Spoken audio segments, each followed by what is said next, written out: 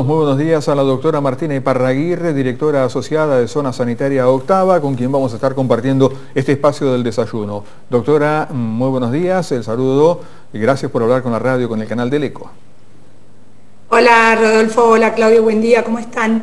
Muy bien, acá estamos. Bien, bien, con fresco pero bien. Martina, bueno, contanos primero, eh, como ya te lo veníamos diciendo, cantidad de mensajes de gente con preguntas relacionados, obviamente la mayoría con la vacuna, así que eh, vamos a ir desgranando esto también. Pero danos primero un panorama general de cómo está el tema de la vacunación aquí en la ciudad de Tandil, esta, mm, bueno, eh, estos avances que se han producido en, este último tiempo.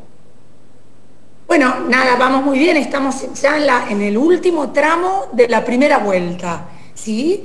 Estamos en casi 20.000 adultos mayores de 60 años vacunados sobre un total de 22.000 inscriptos. O sea, estamos a 3.000 eh, y piquito de personas de terminar la primera vuelta, ¿sí? Algo que hace, nada, un mes y medio atrás nos parecía imposible. Bueno, está, está ocurriendo y en simultáneo se está empezando a aplicar la segunda dosis solo para la vacuna Sinopharm, ¿sí? Correcto, justamente hay muchas consultas que tienen que ver con relación al tema de la segunda dosis de Sinofar, es una de las consultas que hay. ¿Ya están comenzando a repartir los turnos? Sí, sí, efectivamente, los turnos ya están siendo otorgados. A diferencia de lo que sucedió con la primera dosis, ustedes se acuerdan, chicos, que inicialmente la ANMAT no había aprobado el uso de Sinopharm para mayores de 60 años entonces, en la primera ronda de Sinopharm, primero tuvieron su turno los menores de 60 con patología de riesgo y las docentes. Recién, con el último puchito de Sinopharm, se vacunó a mayores de 60 y a trabajadores de la salud. Bueno, ahora, para la segunda vuelta, los turnos se van a otorgar con el nivel de prioridad que todos conocemos. Primero los mayores de 60 y trabajadores de la salud, y luego los menores de 60 y trabajadores de la educación. ¿sí? O sea, se va a invertir el orden con el que se aplicó la Sinopharm en la primera vuelta. ¿Esto qué quiere decir? Que los mayores de 60 ya están empezando a recibir su segunda dosis de Sinopharm. Es una población muy pequeña de mayores de 60 y que probablemente la semana que viene empiecen a recibir la citación para la segunda dosis los menores de 60 con patología de riesgo y los docentes. Bien, esa era la pregunta justo eh, que te iba a hacer el tema docentes. Contanos cómo, cómo viene el tema de la segunda dosis con las distintas vacunas que recibieron los docentes. Hablo de la Sputnik, eh, hablo de AstraZeneca y creo que alguna más vos mencionabas. Sinopharm. Sinopharm. La mayoría de los docentes recibió Sinopharm. Bueno, Sinopharm al final resultó la más, la más sencilla para completar el esquema. ¿Por qué? Porque entró un millón de Sinopharm en febrero y ahora entró otro millón Ahí se nos congeló Martina. ¿eh? Internet tiene estas cosas. Se nos quedó congelada Martina, eh, seguramente por alguna interrupción de, Internet allí. Eh, si querés, Rodolfo... Sí, a ver, Martina, si... Ah, estás de nuevo, dale. Te habías quedado congelada. Ah, perdón. no, decía que con respecto al esquema de Sinopharm es el más, el que menos problemas nos debería traer, ¿sí? ¿Por qué? Porque entró un millón de Sinopharm en febrero y ahora entró otro millón de Sinopharm y esto estuvo acompañado de una comunicación del Ministerio de Salud de Nación que dijo que este segundo millón es para completar esquemas. Así que no debería haber ninguna dificultad. Correcto. ¿Cuántas vacunas de Sinofar aproximadamente se aplicaron aquí en la ciudad de Tandil? ¿Cuántas aproximadamente de Sinofar? 7.000 aproximadamente. 7.000 y piquito. Bien, eh, una de las preguntas que llegaba acá por las vacunas de AstraZeneca, eh, ¿qué pasa? Explicaban o preguntaban acá, ¿qué pasa si no llegan más vacunas de AstraZeneca con los docentes que nos dimos la eh, primera dosis con esa marca? Bien, primero esperemos que lleguen, a ver, probablemente tengan un retraso por los motivos por todos conocidos. La AstraZeneca se fabrica en tres lugares, se fabrica en India, se fabrica en Inglaterra y se fabrica entre la Argentina y México, ¿sí? Nosotros estábamos recibiendo la AstraZeneca que venía de la India. Bueno, no, no van a salir vacunas de la India al próximo tiempo. Ayer leí que se estaban retirando las embajadas de la India. Están en un colapso sanitario, en una catástrofe tremenda. Entonces, tenemos otros dos lugares que fabricaron AstraZeneca. Uno es el consorcio establecido entre la Argentina y México, fabricó 20 millones de dosis que fueron secuestradas por los Estados Unidos.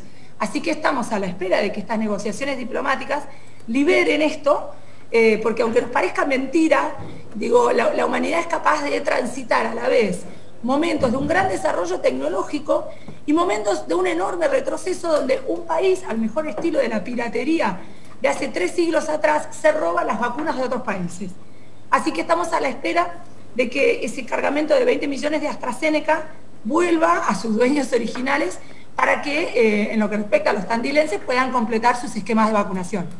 De todas maneras, déjenme decirle que justo esta vacuna, la AstraZeneca, es la que tiene mayor evidencia, sobre la que hay mayor evidencia escrita respecto del nivel de cobertura que se obtiene con una única dosis. ¿sí? En algunos países se pensó hasta en diferir la aplicación de la segunda dosis cinco meses. Acá se estableció un límite de tres meses. Pero es tanta la evidencia que hay respecto de la cobertura con una única aplicación que en muchos países se pensó en diferir todavía más la segunda dosis. Esto no quiere decir de ninguna manera que se esté pensando en no completar los esquemas, sino que lo que intenta es llevar tranquilidad a aquellas personas que recibieron una vacuna, que por un lado es la que hoy vemos que está más trabada en términos internacionales, bueno, se trata justo de la vacuna sobre la cual hay más evidencia de que una única dosis da un buen nivel de cobertura. Bien, eh, estamos hablando con la doctora Martina Iparraguirre. En caso de que no llegue la AstraZeneca, eh, ¿cuál es compatible, es decir, con cuál se podría completar el esquema? No, hoy todavía no hay posibilidad, las vacunas no son intercambiables hasta la fecha. En algún momento se pensó en que Gamaleya y AstraZeneca podían trabajar juntas porque usan una tecnología similar, usan una plataforma similar, ha habido cierta cooperación entre ambos laboratorios, pero todavía no hay nada al respecto de que las vacunas se puedan intercambiar una con otra. O sea, los esquemas se terminan con la misma vacuna, que en el caso de la Sputnik es un componente diferente, pero eh, solamente en, el caso de esa vacuna, que es una vacuna heteróloga. Correcto, estamos hablando con la doctora Martínez Parraguirre de Región Sanitaria Octava, la directora asociada. Eh, bueno, eh, tranquilizadora su palabra en el sentido de que, bueno, había muchas consultas también sobre si el diferimiento no generaba algún riesgo en la efectividad de las vacunas. Por lo menos en este sentido ustedes están, bueno, trabajando muy eh, seriamente con todo esto, evitando inconvenientes. Exactamente, de hecho, por eso se tomó la decisión de que este segundo millón de Sinopharm que ingresa sea para completar el esquema. ¿Por qué? Porque tratamos de trabajar con evidencia robusta, ¿sí? Y lo que encontraron las autoridades del Ministerio de Salud de Nación era que en el caso de la Sinopharm, es verdad que es una vacuna que viene unos pasos más atrás en lo que respecta a la escritura, ¿sí? Es, la vacuna que viene más retrasada en, en evidencia escrita. Entonces, ¿qué dijeron las autoridades? Bueno, para Sputnik y para AstraZeneca tenemos evidencia robusta que nos avala a tomar una decisión de diferimiento. Encontraron que no existía eh, el mismo grado de evidencia para la Sinopharm y por eso se decidió completar los esquemas antes.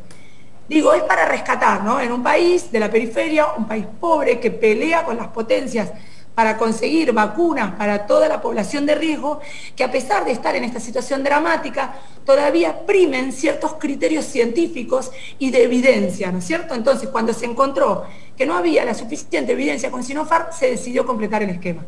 Correcto. Eh, estamos hablando con la doctora Martín Iparraguirre. Recibíamos un mensaje, por ahí algunas preguntas puntuales que vamos a hacer, pero que a lo mejor representan eh, más personas que le ha ocurrido lo mismo. Una señora de 80 años que no fue vacunada, porque ella nos decía, la dosis mía se la dieron a otra persona. Nosotros comentábamos que a veces ha ocurrido cuando hay personas mayores que antes tenían libreta cívica o libreta de enrolamiento, eh, un mismo documento para dos personas. ¿Qué pasa si una persona de 80 años o una persona mayor de 70 años que está inscripta todavía no fue vacunada? Es raro. Eh, a ver, es raro. Yo te digo que nosotros estamos con los tres equipos de los vacunatorios haciendo una búsqueda minuciosa de los más... Primero que los números que nos muestra el tablero de epidemiología nos muestra que son muy poquitas las personas mayores de 70 años inscriptas y no vacunadas. O sea que en términos estadísticos estamos hablando de un universo muy pequeño, ¿sí? de 200 personas aproximadamente. En estas 200 personas, muchas de estas no vacunaciones se explican por COVID positivo, contacto estrecho, internaciones, fallecimientos. Ahora, en el caso de personas que dicen, estoy inscrita y no me llamaron, yo insisto que por favor se acerquen a un vacunatorio, porque es muy raro y nos hemos encontrado que en muchos de estos casos no estaban inscritos, ¿sí? Cuando se acercaron, los inscribieron y rápidamente obtuvieron su turno y fueron vacunados. Respecto de esta interpretación de mi vacuna se la dieron a otra, es una, es una explicación muy peligrosa, eh, pero además es falaz, no es cierto. Esto tiene que ver con no entender cómo funciona el sistema de turno, ¿sí? La vacuna viene a nombre de Claudio Andiarena hoy, lunes, y hasta el viernes lo va a esperar a Claudio Andiarena. No lo va a esperar un mes rotulado con una cinta dentro de una heladera, ¿sí? Nosotros semanalmente nos hacen algo que se llama control de stock para evaluar esto. Bueno, pasó toda la semana, la persona no vino, te sigue quedando esa dosis, esa dosis vuelve al stock de esa posta de vacunación, ¿sí? Digo, porque es muy peligroso también decir mi vacuna se la dieron a otra. No es cierto, es peligroso eh, y es peligroso hacer este tipo de, este, de denuncias sin fundamento, sobre todo cuando no terminamos de entender bien cómo funciona el sistema que se acerquen a una posta de vacunación y hablen con los equipos que tienen acceso al sistema y les van a saber explicar. Correcto. Mm, doctora Iparraguirre, eh, voy a leer un mensaje que hay varios similares a estos, pero de alguna manera ya fue respondido, pero vamos a tratar de hacerlo lo más claro posible. Soy Irma, tengo 77 años, me di la primera dosis de la vacuna Sinofar el 8 de abril, sé de muchos que ya se aplicaron la segunda, quería saber si todavía quedan turnos pendientes, pregunta por acá. Sí, hay muchísimos turnos pendientes, apenas llegaron 1.600 Sinopharm, ¿sí? Llegaron muy poquitas. Las otras vacunas que se están aplicando en las otras postas son primeras dosis de Sputnik. Por eso es que les digo, simultáneamente se está terminando con el universo de mayores de 60 y se está recién empezando a aplicar la segunda dosis. Apenas llegaron 1.600, ¿sí? De todas maneras, si Irma se dio su primera dosis el 8 de abril, estaría, si la llaman hoy, estaría en 28 días impecable Así que que no se alarme, que se puede demorar todavía un poquito más el esquema, pero además que sepa que solo se dieron 1.600 turnos, porque solo llegaron 1.600 dosis de Sinopharm. El mensaje de Carlos también coincidente con el de prácticamente todos los que se van a vacunar, por lo menos no ha habido reclamos. Dice, ayer me vacuné, todo muy bien, espectacular la atención, en este caso en la UNI, dice. Y después pregunta, para la segunda dosis, ¿solamente tengo que esperar que me llamen? ¿Tengo que hacer algún otro trámite? No tiene que hacer ningún trámite, tiene que mirar su aplicación como hizo para la primera dosis, o pedirle a su hijo que lo ayude, o a su familiar, o acercarse a la universidad, pero tiene que esperar que lo convoquen para esta segunda dosis. No tiene que hacer ningún trámite. Bien, correcto. Eh, más preguntas que siguen llegando, tratamos de eh, bueno, a ver, eh, de amontonar, si se me permite el término, preguntas similares, porque la verdad que hay una cantidad importante. ¿Qué más, Rodolfo? Alguien que, bueno, también lo ha contestado la doctora en el sentido del criterio para la aplicación de la segunda dosis, dice alguien que está preocupado porque con la primera dosis se respetó, dice, el turno de anotación y ahora vemos que están vacunando a gente que se vacunó después que yo. Bueno, eh, lo que usted marcaba, el criterio, apuntar ahora a la población de riesgo. Exactamente, exactamente, como vos decís, Rodolfo. En la aplicación de la primera dosis de Sinopharm no se respetó, si se quiere, entre comillas, el criterio de priorización otorgado por el Ministerio porque estábamos a la espera de que ANMAT nos aprobara el uso en mayores de 60. Por eso ahora se va a invertir el orden de aplicación. Eh, reitera eso, por favor, eh, la, inversión de la, de, eh, turno de aplicación respecto a la primera dosis. Claro, cuando llega el primer cargamento de 7.000 dosis de Sinopharm, la ANMAT todavía no había aprobado su uso para mayores de 60 años. Entonces, en ese momento, si bien estábamos dando los primeros pasos en la campaña y nuestra prioridad absoluta eran los mayores de 60 años, ¿a quiénes se vacunó en ese momento? A los menores de 60 años con patología de riesgo y a los docentes. De hecho, yo no sé si se acuerdan, hubo muchas quejas en ese momento de los mayores de 60 años que decían, voy al vacunatorio y están vacunando a gente más chica. Bueno, en aquel momento tuvimos que salir a explicar, señor, señora, no está aprobada para ustedes. Bueno, ahora que ya están todas las aprobaciones establecidas, para la segunda dosis de Sinopharm se va a retomar el criterio que existió siempre. Primero, los trabajadores de la salud y los mayores de 60 años. Eh, hay una pregunta aquí de Estela, eh, dice, me vacuné hace 20 días, ¿me conviene esperar la segunda dosis o me doy la vacuna de la gripe? depende, mira, yo si fuera Estela, si Estela fuera mi mamá le diría esto, si te vacunaste con la Sinopharm, espera a que te llegue la segunda dosis de Sinopharm, ¿sí? Si te vacunaste con Sputnik o AstraZeneca, anda a vacunarte con la de la gripe porque probablemente haya un retraso todavía. Clarísimo. la pregunta para la doctora dice, recibí la Sputnik hace 19 días. ¿Puedo tomar un antibiótico para una infección en una muela? ¿Puedo tomar antibióticos? Pero lo que quiera, o sea, pasados los primeras 24 o 48 horas donde esperamos algunos efectos adversos asociados a la vacuna, después vida normal. ¿Se acuerdan que en un momento decían que no podíamos tomar alcohol, chicos, con, con la Sputnik? Qué tremendo, muchos ahí dijeron... Bueno, ahí decidieron no vacunarse. El alcohol lo querían por adentro, no nos tomar toda su medicación normalmente. Bien, eh, es muy apresurado preguntar cuándo se va a poder vacunar a, mm, digamos, gente entre 40 y 50. No, no es apresurado, es interesante. O sea, hemos recibido un montón de consultas al respecto y nos hemos preguntado nosotros también en mesa de trabajo, dijimos, bueno, a ver, supongamos que terminamos de vacunar a todos los menores de 60 años con patología de riesgo nos va a quedar un gran universo que son aquellas, aquellas personas comprendidas entre 18 y 60 años sin por lo menos alguna comorbilidad clínica. ¿A quiénes vacunamos primero? ¿Qué hacemos? ¿Abrimos una vacunación masiva?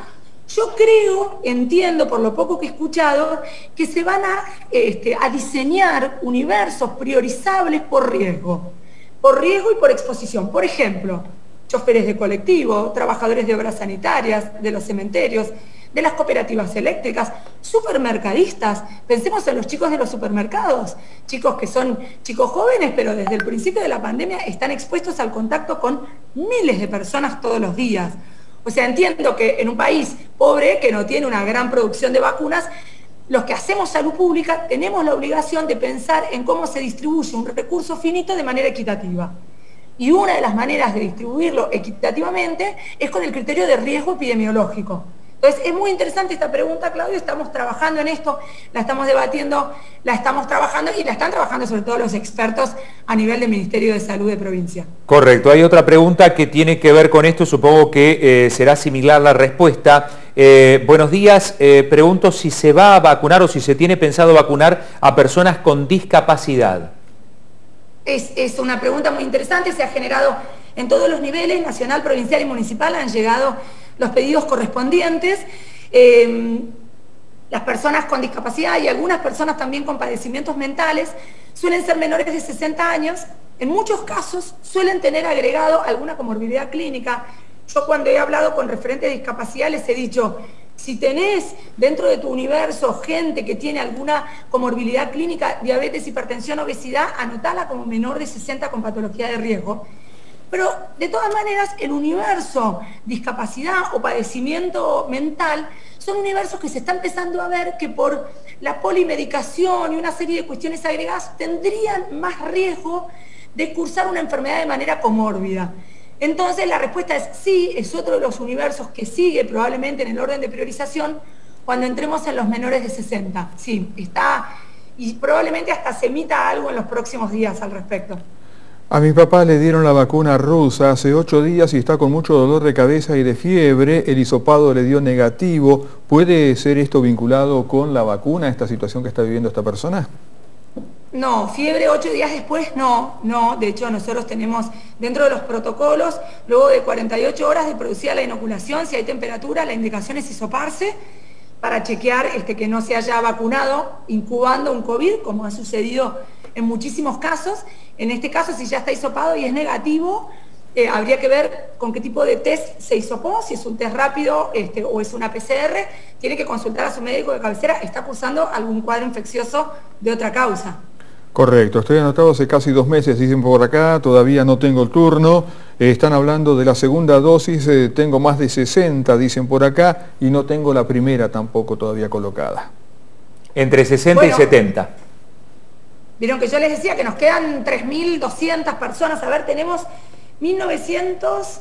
19.600, eh, perdón, esto me da, no, 2.400 personas quedan mayores de 60 años que todavía no fueron llamadas, ¿sí?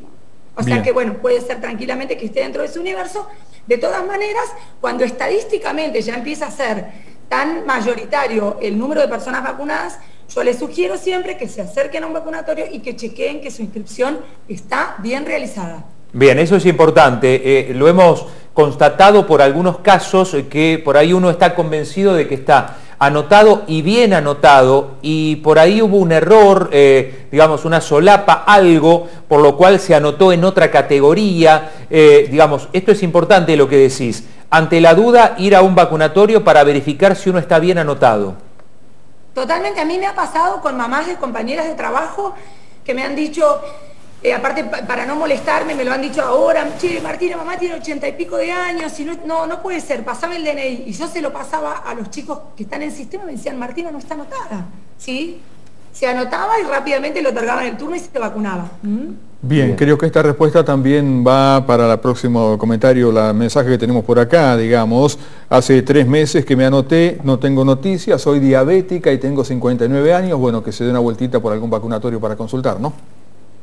Bueno, este universo, ojo, ¿se acuerdan que este universo, eh, el de menores de 60 con comorbilidades, empezamos con fuerza cuando todavía la ANMAT no había aprobado la Sinopharm para mayores de 60, vacunamos aproximadamente 3.500 personas de un universo de 5.000 y después quedó, digamos, en stand-by transitoriamente porque volvimos a vacunar a los mayores de 60, ¿sí? O sea que perfectamente puede pasar que haya gente que pertenece a este grupo poblacional que no esté vacunada. De todas maneras, siempre está bueno rechequear la inscripción, ¿eh? Bien. No sé, Rodolfo, cuántos mensajes quedan. Después te vamos a hacer alguna pregunta sobre la situación en general que vive Tandil, eh, bueno, del tema de las camas, eh, el tema de los casos. Vamos a cerrar con eso, Martina, pero no sé, insisto, por ahí nos quedan algunos mensajes afuera, pero tratamos de agruparlos eh, por temática. Exactamente, hay muchos mensajes que algunos que se van reiterando. Mi hija tiene 12 años y tiene obesidad. ¿Se puede vacunar? No. No, no se puede vacunar la vacuna, todavía no hay ensayos clínicos en menores de 18 años. Recién algunos laboratorios están iniciando, iniciando el uso en menores de 18 años, pero por el momento no, ninguna vacuna es apta para menores de 18. Bien. Bien, docentes que aún no han sido llamados, dicen por acá, en mi caso tuve que rectificar los datos y pude hacerlo el día 16 de marzo. Sí, tenemos 200, es un tema, lo tenemos súper presente, tenemos 200 docentes inscritas sin vacunar. Eh, estamos haciendo, vieron que el vacunatorio de Ioma Suteba tiene cierta independencia eh, en, los criterios, o sea, o tiene cierta dependencia más estricta en realidad en los criterios, porque es un vacunatorio que se generó inicialmente solo para trabajar con docentes. Después, la campaña requirió que siguieran y siguieran vacunando a todos los grupos poblacionales. Pero bueno, están muy preocupados los responsables de estos vacunatorios. En el caso de Tandil hay 200 docentes sin vacunar se están haciendo las gestiones para la brevedad poder vacunarlas. Mm. ¿sí? 200 docentes inscritas sin vacunar. Correcto. Tengo 75 años, del hospital de niños me rebotaron, dice por acá esta persona, no aclara, bueno, si había estado inscripto o no, digamos, esto también hay que tenerlo en cuenta, que la vacunación es previa a inscripción. Claro, sí, sí, digo, esto lo dijimos desde el principio, ¿no? Nadie no inscripto en vacuna TPBA puede vacunarse, ¿sí? No hay vacunación sin registro. No pueden quedar vacunas sin registrar. ¿Mm? Correcto. Eh, bien, hasta acá ah, muchos mensajes. Eh, Martina, en el final, como decíamos, eh, queremos preguntarte como responsable, una de las responsables de la región octava, ¿cómo se está viendo Tandil, cómo se está viendo el caso de Tandil en cuanto a cantidad de casos, a la famosa curva y al tema camas, que es la preocupación mayor que hay en nuestra ciudad? Bueno, a ver, vamos con los casos. Primero la famosa curva que es, tan difícil de, analizar mientras sucede, ¿no? Digamos, las curvas son más fáciles de analizarlas siempre retrospectivamente, cuando uno está en bajada, ¿no? Es muy difícil cuando uno está en ascenso o en la meseta saber si lo que viene es la bajada. Sí lo que podemos decir es que el ascenso vertiginoso de cuatro semanas atrás ya no es el mismo, por suerte, ¿sí? Este primer, esta primera estampida de principios de abril, que de verdad nos generó muchísimo temor porque las proyecciones matemáticas hablaban de que si manteníamos esa dinámica, en este momento íbamos a estar con 5.000 activos, esa dinámica por suerte se detuvo rápidamente y continuamos varias semanas más en un ascenso un poco más lento. Hasta hoy, que todo hace pensar que si no estamos en una meseta, estamos en un ascenso muy, muy lento, muy a cuentagotas. Digo, en términos de curva, parece, parece que salimos de la zona roja, ¿sí? Ahora lo que, lo que sucede después, porque vieron que siempre hay, hay un delay entre el ascenso de casos vertiginosos que se produce en un momento y la repercusión que esto tiene en la ocupación de camas de terapia que sucede entre 10, 15 y 20 días después. Ya hace varios días que salimos de esa dinámica acelerada de suba de casos, pero no podemos respirar respecto de la ocupación de camas de terapia. ¿sí? Recién en el parte de ayer se vio un leve respiro de dos o tres camas desocupadas, pero tuvimos varios días de ocupación arriba del 95%. Quiero contarles que hoy está volviendo a Tandil eh, la paciente que derivamos a Pinamar en muy buen estado general, pero digo, tuvimos que derivar pacientes a otro lugar, eh, algo que en, nuestra historia de vida pensar que eh, el hospital de Pinamar, la terapia intensiva del hospital de Pinamar iba a salvar una tandilense, digo, esto sí que es romper paradigmas, no lo imaginábamos nunca jamás. Bueno, esta ocupación y esta tensión de las camas de terapia nos pone en una situación muy difícil. ¿Por qué? Porque la ocupación de camas de terapia en esta segunda ola fue pareja en todos lados. ¿Se acuerdan que en la primera ola, cuando se empezó a desagotar el AMBA, se empezó, digamos, a poner más caliente el interior? Bueno, eso no pasó ahora. Todas las terapias de todas las regiones de la provincia están ocupadas. Entonces, esto suma atención al hecho de que cuando tenés que derivar a alguien, de verdad es una búsqueda febril, te fatigás los teléfonos viendo dónde podés derivar a esa persona, porque en el caso de esta persona hablábamos de una vecina de 45 años. Imagínense la tensión para de verdad encontrarle una cama a esta tandilense. Eh, esta tensión continúa, les, repito, con un pequeño respiro, hubo ayer de dos o tres camas, que esperemos que se sostenga, esperemos que se sostenga. De todas maneras, lo que tenemos que aprender es que estos no son, estas no son señales para, ah, listo, terminó, salimos a la calle, dejamos de cuidarnos, los casos ya no suben más escandalosamente. No, no. Más que nunca es momento de seguir restringiendo al máximo la circulación, cuidándonos, evitando todo tipo de reuniones sociales si queremos que esta tendencia de meseta y ojalá de descenso, no lo sabemos todavía, suceda. Bien, Martina, te agradecemos mucho esta comunicación con la radio, con el canal del ECO, eh, completísimo y bueno, te vamos a volver a molestar en cualquier momento. Cuando quieran, chicos, siempre a disposición, que tengan una buena mañana. Adiós. Igualmente. Muchas gracias, muy amable. La doctora Martina Iparraguirre, directora asociada de la región sanitaria octava, eh, bueno, que es la, la, que se encuadra a Tandil, en la que se encuadra a Tandil, respondiendo un montón de preguntas de televidentes y oyentes y mucha, bueno, y el cierre este un poco conociendo el panorama, ¿no? Exactamente, aportando claridad que es realmente muy importante y bueno, hay que destacarlo, creo yo, por lo menos mi opinión personal, lo hace muy bien Martina en este sentido. Efectivamente. Bueno, vamos a cerrar el bloque del desayuno, 9 de la mañana, 10 minutos, 7-9, la actual temperatura.